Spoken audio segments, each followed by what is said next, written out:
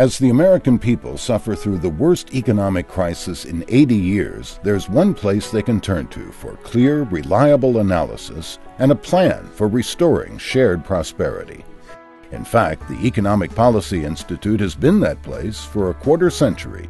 Well, I want to say thank you to EPI for 25 years of being the authoritative voice on economic issues and really the voice of working American families.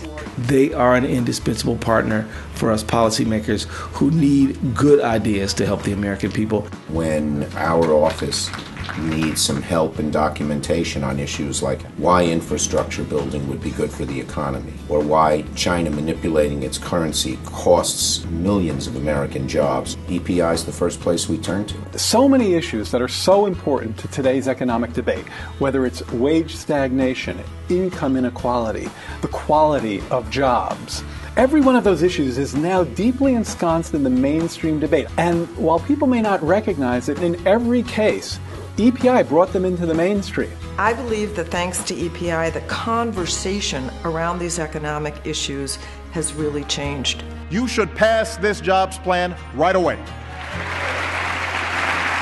EPI is a kind of crucial dissenting voice when Washington decides to sort of rise in a chorus behind destructive economic policies, and they do that very often. At EPI, you've got some of the best analysts, economists who understand that the heart of the economy is not finance, it is not movements of capital, it is people. It is people who work, it is people who spend, it is people who are struggling every single day.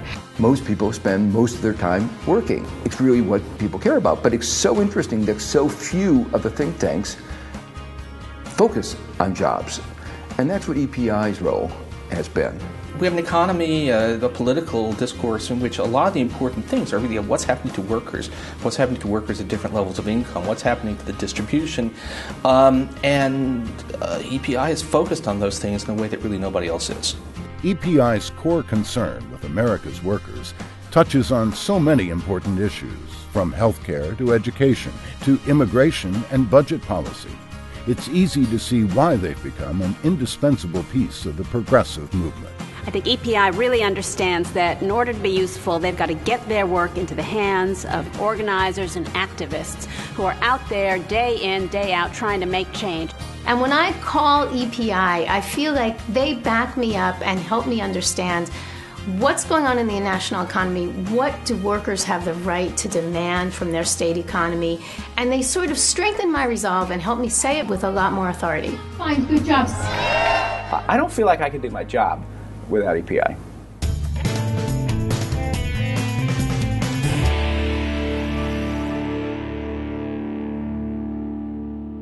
EPI's sterling reputation comes first and foremost from producing credible data analysis time and time again. Over the last 25 years, I have read literally hundreds and hundreds of EPI reports and policy papers and recommendations.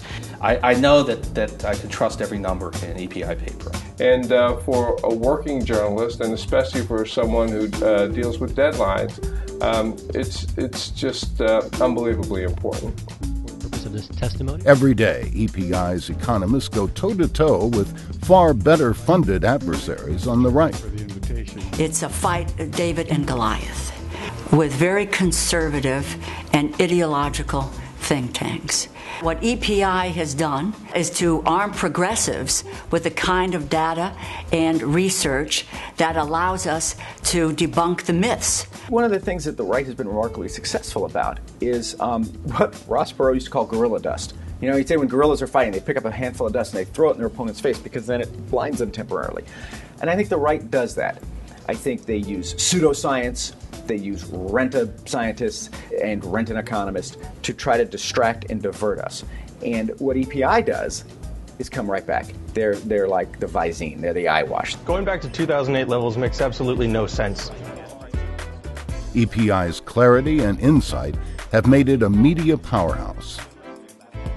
I think that they've understood the importance of how do we message this? How do we communicate this? How do we take this data and translate it uh, so that the person on the street can understand it but within a larger context? For the last 16 years running, EPI has received more media citations than any other progressive think tank in America. In 2010 alone, EPI was cited over 20,000 times in elite national and regional media.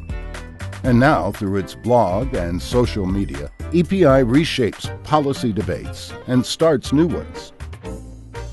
EPI began in 1986 when Jeff Faux brought together leading economists who understood the threat posed by Ronald Reagan's agenda. It seemed to a number of us that Reagan was different than the previous Republicans because he represented a powerful effort to change the way people thought about the economy. Return economics to its classical roots. One of the biggest lies in history is trickle down economics.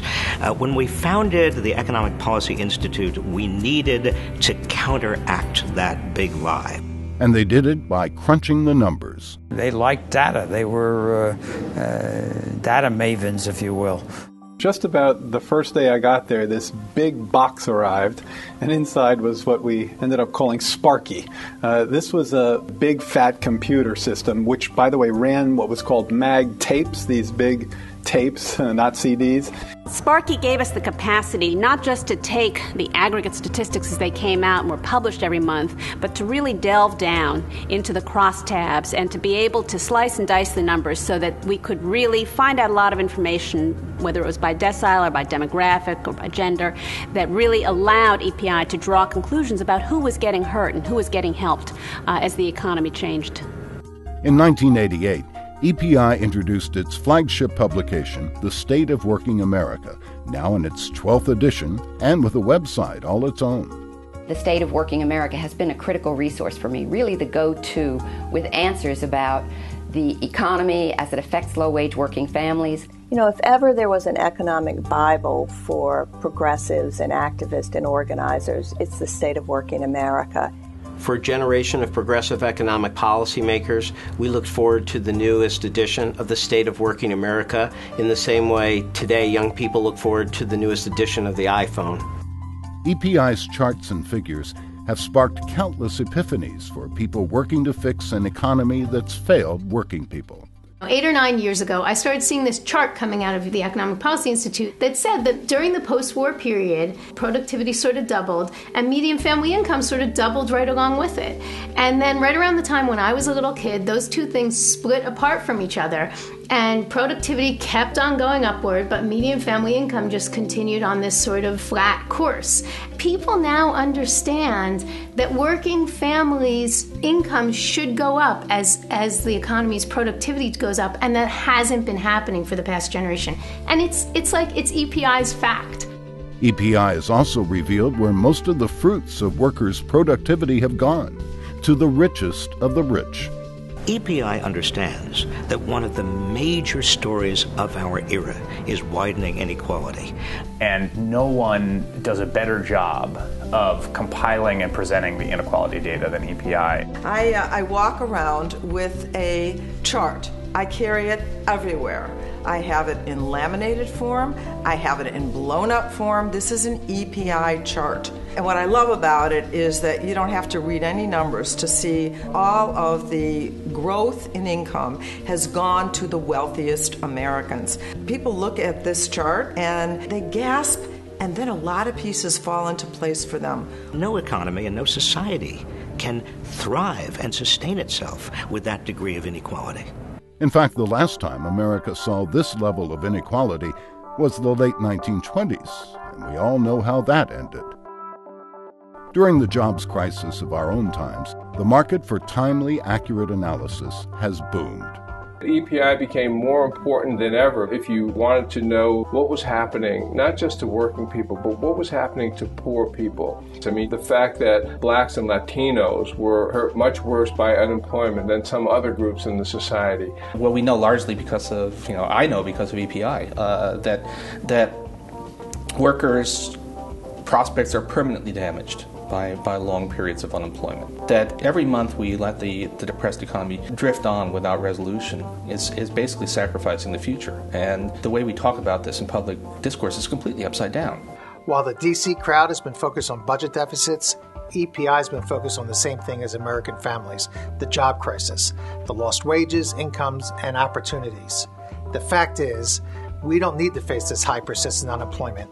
Better policy can get us out of this. I want to thank you for the opportunity to explain why the U.S. economy needs a large economic stimulus to boost demand for goods and services and to prevent a serious and protracted loss of jobs. EPI was the first and loudest voice to say, look, jobs are disappearing, wages are declining. We need a huge stimulus. We need a stimulus that is even larger than the stimulus being contemplated. EPI, once again, was saying what needed to be said and saying it in a way that needed to be said.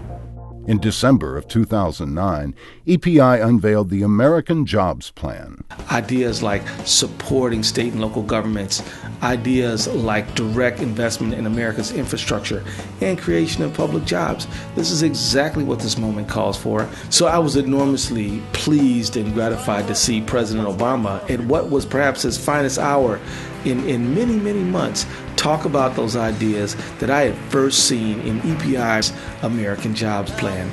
The American Jobs Act answers the urgent need to create jobs right away. EPI was prescient. They saw the future and they were ahead of the curve. In Washington's budget battles, EPI fights for America's working people. When the co chairs of the President's Deficit Commission proposed slashing the social safety net and dramatically scaling back public investments, Commissioner Jan Schakowsky dissented. With EPI's help, I was actually able to introduce an alternative proposal, one that achieved the same deficit cutting goals, but also did it without hurting ordinary people, middle class people, particularly uh, Social Security, Medicare, and Medicaid. Since its founding, EPI has been deeply engaged with the issue of trade, and it's changed both minds and policies. Uh, what EPI did was bring the worker into the debate about trade.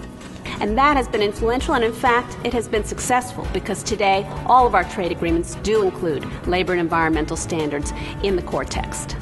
The passage of the China currency bill was the biggest bipartisan jobs bill that that we've passed in a long, long time. EPI played a role in that because of their jobs numbers. I use them almost incessantly, and Republicans use them. The Economic Policy Institute, the Economic Policy Institute, the Economic Policy Institute's report. EPI has become the, uh, the center for talking seriously about what is a serious part of our problem. EPI has also taken the battle for working people to the states by helping to create and grow EARN, the Economic Analysis and Research Network, 57 think and do tanks in 43 states. EARN proved its worth in the 2000s when efforts to raise the minimum wage stalled in Congress but caught fire in states across the country. It was really great to suddenly have EPI and the rest of the EARN network behind us, helping us to figure out a strategy for what kinds of pieces of research would help strengthen this fight and help us understand what role does a minimum wage really play in the economy. And of course, it was even better when we won the fight and we felt like this solid research had played a role in that. In the end, 34 states raised their minimum wage, and that spurred Congress in 2007 to raise the federal minimum wage as well. In 2011, Republican governors and legislatures launched a broad attack on the middle class, and EARN groups worked with EPI to fight back with timely, high quality research on all of the key issues. On collective bargaining, on right to work, on state budgets. And this really allowed our folks to make the arguments they need, to have the facts at their fingertips to counter the spurious right wing attacks that were funded by corporate think tanks across the country. With a series of state by state reports, EPI and EARN debunk the central right wing myth that public employees are overcompensated. If you consider their education levels, if you consider uh, the kind of work they're doing, no, they are not overpaid. In fact, they're undercompensated. And that kind of data really helps set the tone and help embolden a resistance. EPI's long-standing interest in increasing social mobility and growth naturally drew it into the debate over education, where it's become a source for holistic solutions to provide a great education for every child. In 2008, EPI launched a new campaign, The Broader, Bolder Approach to Education, with a statement signed by 60 visionary leaders in the field. BBA is saying if you want to eliminate disparities, if you want to reduce the achievement gap, you really got to level the playing field by addressing the ways in which children's needs are not met because of poverty and inequality in America. A major convert to the broader, bolder approach is Diane Ravitch. I think that as I look over the past couple of decades, EPI has been consistently right.